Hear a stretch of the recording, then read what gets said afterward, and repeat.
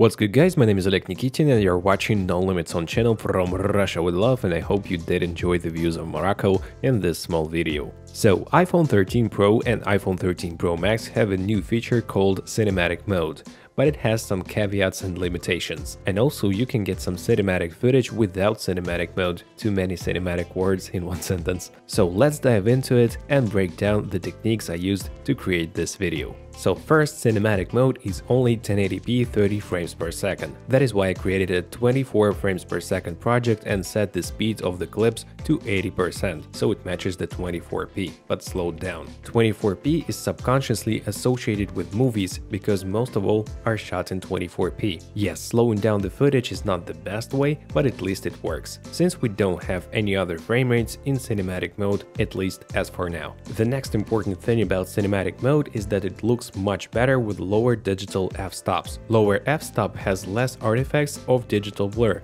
and still looks more blurry than using a regular mode, even if you use f7.1 or f8. So I suggest using f-stops between f5.6 and f11 in cinematic mode for better results. By the way, the latest version of Final Cut Pro supports cinematic mode and you can set the focus and choose the f-stop directly in Final Cut, but I use a lot of plugins which wouldn't work with the latest version, so I first tweak the videos on my iPhone 13 Pro Max and then transfer the files to my computer. Also, we have to consider that there are cases when cinematic modes simply can't detach the object from the background properly. For example, it really struggles with detaching hair, like on this shot, or with birds or animals, like on those shots and especially with this dog. Look, we don't have the blur between his legs. So you have to be careful and think about potentially tough objects and be ready not to use certain shots in your final edit. Also cinematic mode uses HDR by default and it's an HLG or hybrid log gamma. So in post you'll have to either work in HDR timeline or, like in my case, pull down the highlights a lot to properly expose. That's not the best workflow, but it works for me pretty fine. As you might have noticed, I didn't use cinematic mode entirely in this video. I used a lot of 4K 60 for slow motion and for shots with deep plane of focus where background blur is not needed like on those landscape shots with the seagulls. So you can also switch to 4K 60 in such cases to get better resolution and slow motion. After all, the word cinematic, which is highly overused these days, is related not only to the background blur we get with big sensor cameras and fast lenses, but also to lighting, composition, frame rate, color, and even aspect ratio. It's a combination of factors that we often see in feature films, and our brain thinks, wow, that looks like a movie, it's cinematic. So let's have a look at those factors starting with aspect ratio. I applied a letterbox which cuts the image from top and bottom and makes it 235 to 1 aspect ratio, which we see a lot in widescreen cinema. It's a pretty well known and rather overwhelming way of making your footage look more cinematic. Yeah, I know, this word starts to irritate you guys. We already talked about frame rate of 24 FPS. By the way, I slowed down 60p footage to 40% to properly play it back at 24 frames per second. Then comes the framing and overall composition. As you saw from the video, I used a lot of rules of composition to better draw your attention to the important parts of the image. First, central composition like in this shot with the camel in the desert, the rule of thirds like in those shots with my wife Katyusha, and the guys looking at something in the ocean.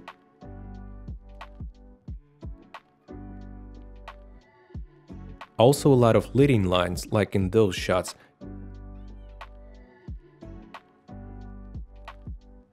And finally, the sunset lighting which is very soft and beautiful by itself, but also provides us with high contrast when we shoot against the sun, so we can clearly see the silhouettes which is a very popular method of drawing your attention as well, because our eyes immediately define a person or a seagull by looking at it for less than a second. To sum up, composition, framing, good lighting and contrast are very powerful tools in creating great shots even with your iPhone. One more way of getting a cinematic footage is having the correct shutter speed. So in a couple of shots I was using the ND filters made by Case Company and I have a big separate review and also I was using the Filmic Pro app and setting the correct shutter speed in this app, but it's not possible in cinematic mode, so I only did it in a couple of shots with 4K 60. Let's move on to color. Cinematic color is a huge topic and I would say it's very personal. For some people, Michael Bay's Transformers Teal and Orange is cinematic. For some people, really natural and calm colors like in Sam Mendes' Revolutionary Road are cinematic. Or having cool colors like The Revenant by Alejandro Gonzalez Iñárritu. In my case, I decided that this color is looking pretty good to me. I lowered the brightness of highlights to about 75 IRE and also didn't apply too much contrast or saturation. Hope you like my color grade. Let me know about it in the comment section below. A few more life hacks. Since iPhone's footage is very over-sharpened, I apply 1% of Gaussian blur to some shots, and to others I applied focus effect so the edges of the frame are a little bit blurry and not as sharp indeed. Also I added 50% of 35mm ultra-fine grain using the FilmConvert plugin because a lot of great movies are shot on film and we're used to certain amounts of film grain and associated with good movies like Christopher Nolan's or Quentin Tarantino's for instance. And the final touch is sound design.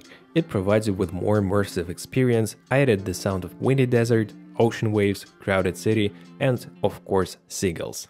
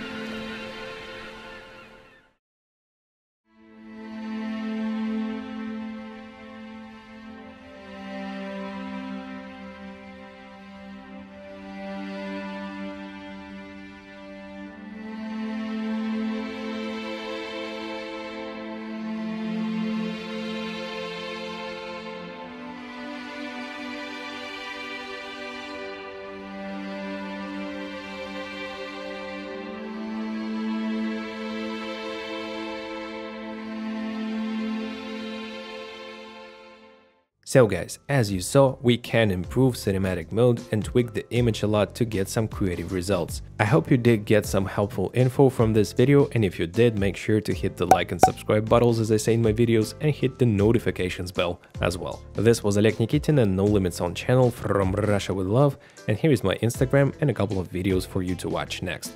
Thank you very much and I see you guys in the next video. Take care, bye.